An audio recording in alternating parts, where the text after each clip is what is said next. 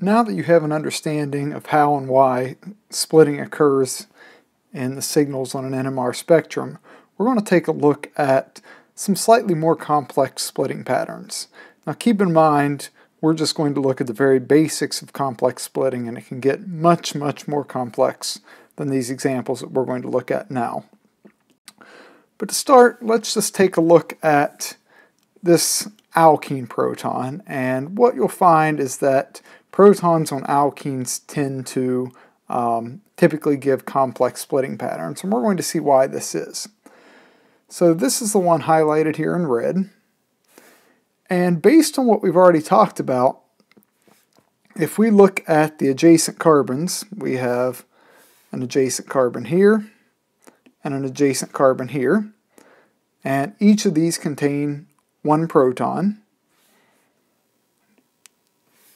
So we would think well, we have those two protons, n equals 2, n plus 1 is 2 plus 1, or 3, and we would expect a triplet.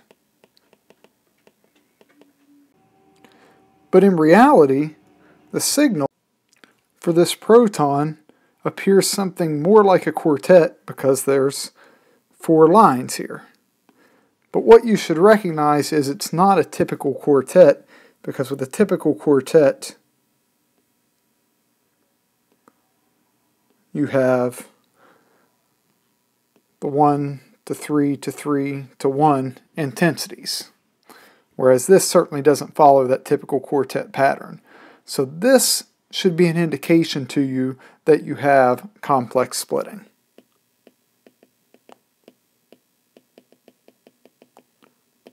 You get a signal, um, it's split, but it doesn't follow any of your typical patterns, doublet, triplet, quartet, quintet, and so forth. So one way to rationalize these signals here is um, by thinking about how it splits and drawing a splitting tree. And basically what we see here is that this proton, the one we're looking at in red,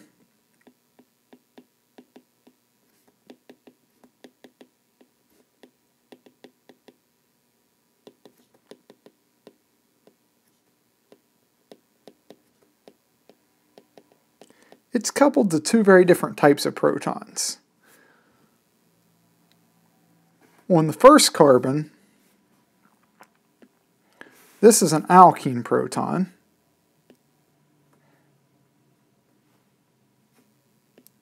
And then on the second carbon,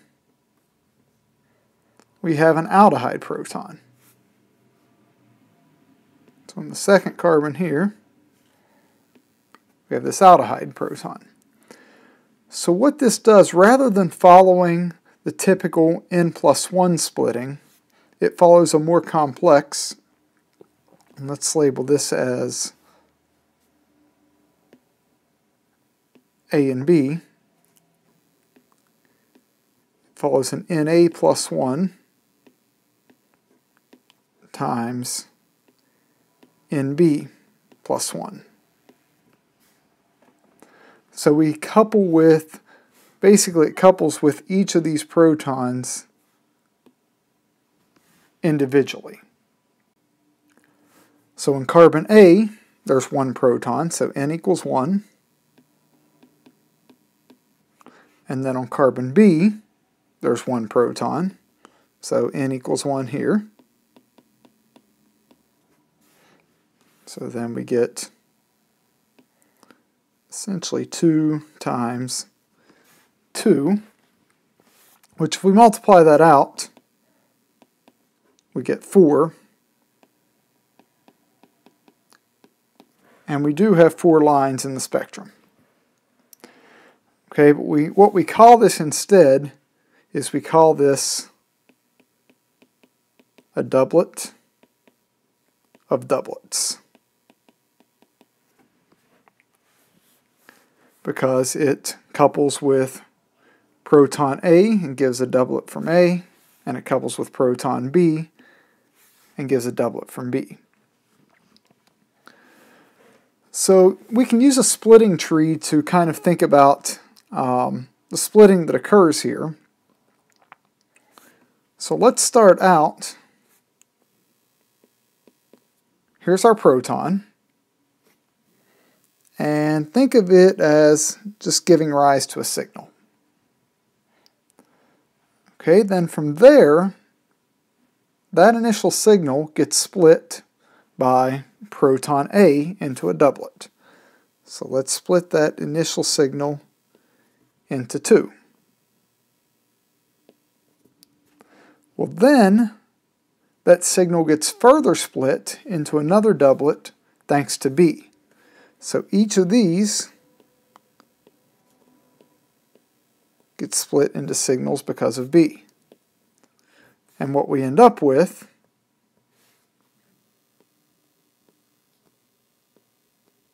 are four lines in the spectrum which we see.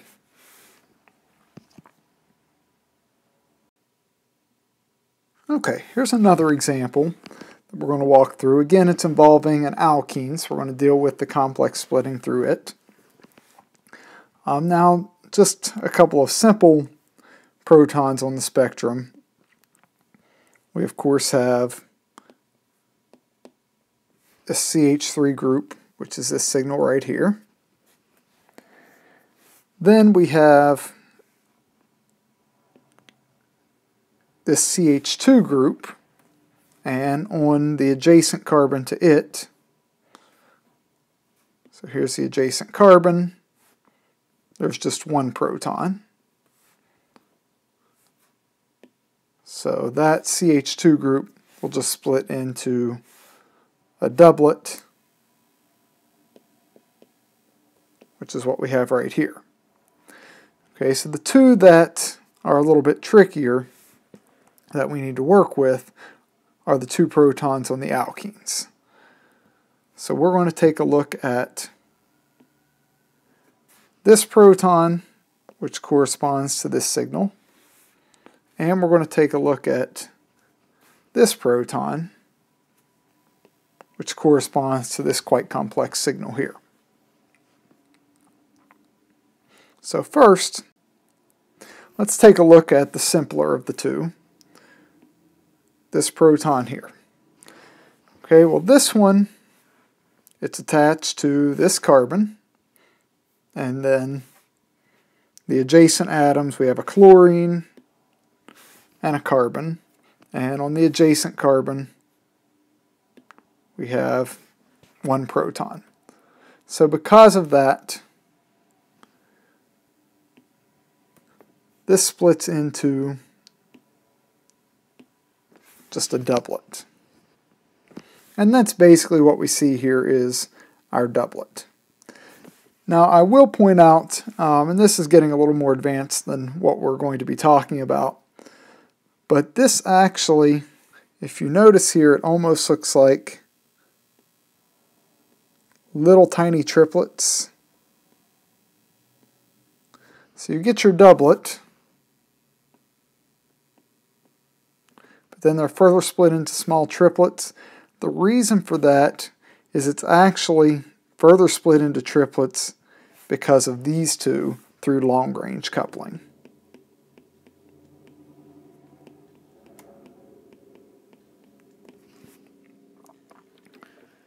So just our standard coupling splits it into a doublet, and then this longer range coupling um, splits it into very small triplets.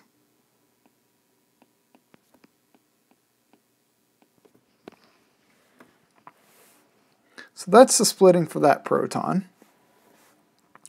Now let's look at our other alkene proton and see how it's split.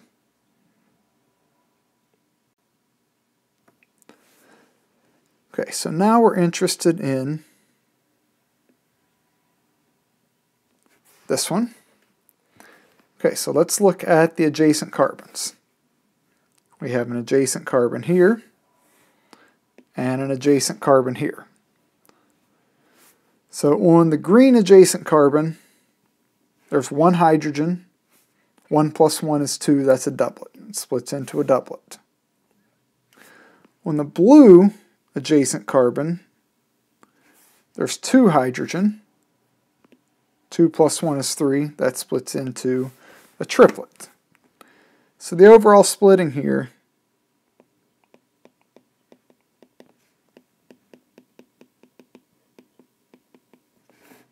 is a doublet of triplets, 2 times 3, which you should see, um, or you'll see a maximum of 6 lines.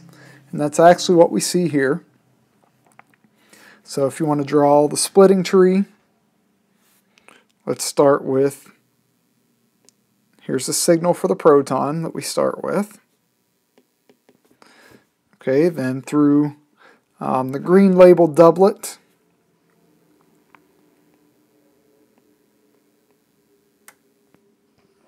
That splits the signal into a doublet. And then those two doublet signals are further split into triplets.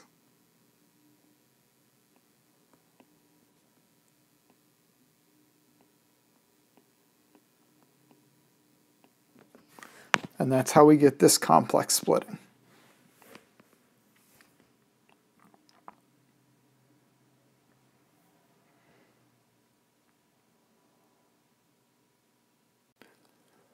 One other thing you might run into that isn't necessarily complex splitting, but it gives you these large multiplets, is overlapping signals. This is especially common when you have protons that are chemically distinct, but their environments are so similar that they don't have very distinct chemical shifts and they tend to overlap. For example, uh, we have iodohexane here, one iodohexane. Now, a couple of things that we can pick out. We'll just label these protons. Okay, well, proton, the CH2A, those are going to be the most downfield because they're connected to the I. So that's proton type A. Then we have B, which is still filling um, a little bit of pool downfield because of uh, the I, so that's the CH2 group here. And then also rather distinct is this methyl group on the end, which is this integration for three hydrogen, we'll make that F. But the issue we run into is we have CH2C D, and E, they are chemically distinct, but they're in very similar environments. And all three um, of those proton types,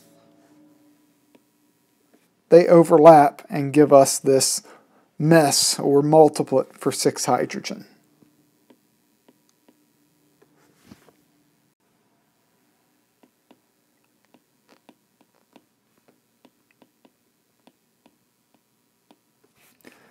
So this is one other thing just to look out for if you have very similar proton types. They can overlap. Um, now as your instrument gets uh, better, where you get a stronger magnet and higher megahertz, you can start to separate these out with better instruments, but um, this particular NMR spectrum's a relatively low resolution.